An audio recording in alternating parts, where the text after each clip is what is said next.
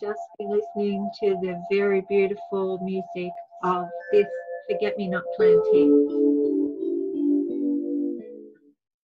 How is this possible? How can a plant be playing music? What an extraordinary plant. Well, the situation is that everything in our universe is made of atom, atoms, and the electrons are always in motion. And every item, every being in this universe has its own resonance that it's creating, an electromagnetic frequency. So when you look at the whole spectrum of frequencies, there's only a very small section of that that is in the human hearing range.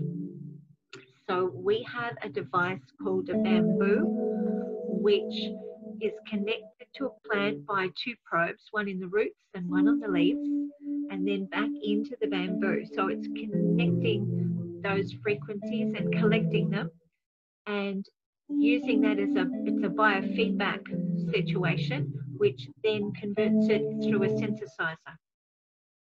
This gives the plant an instrument. It's not its actual voice, but it is a voice. It is a way for us to hear what's happening and to really feel and really tune in and feel it has many health benefits as well as um, a chance to connect in a whole different way to plants.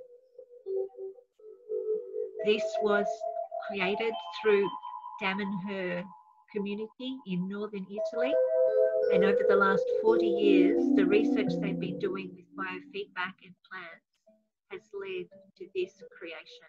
I've had, I've had very many different interactions with different plants. So plants from tiny little plants to grasses and reeds, giant trees, herbs, fruit trees, bushes. Every plant can play using this device. Um, some succulents, um, it, the, the message is difficult to get through.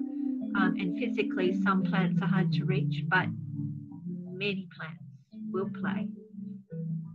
What, how you can interact with plants is through singing, through music, through your own um, energy, through sending love, intention, um, working with Tai Chi and those kind of energies as well. You will see that the plants will respond. With my grandson's um, infants primary class, the teachers were wonderful and we got to do a variety of things, including having the children do star jumps for the plants. And I was surprised that the plants responded to that. Um, also, the music from when 40 children were singing to one plant was just remarkable. Very, very beautiful. We can change the plant instruments. There is a wide variety from percussion and so on. But even if you change the plant instruments, the plant has control. So it can change the tone, it can even change the sound. So it makes you think it's perhaps another instrument playing.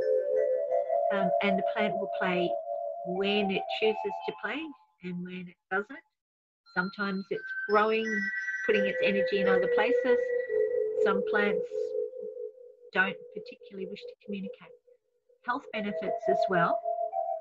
Um, in Italy, they did research so that um, people's brain waves were connected a group meditated and it was measured. It took two hours for them to reach a very deep level of meditation. Doing that same experiment but adding in plant music that deep level was reached in 20 minutes instead of two hours.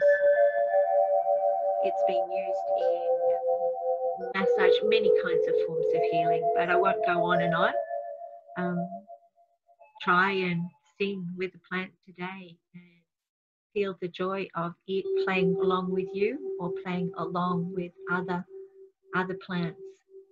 Uh, you might like to hear some online. I have some on Vimeo and also Master Plants Orchestra.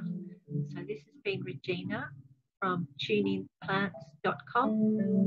Thank you very much for joining us.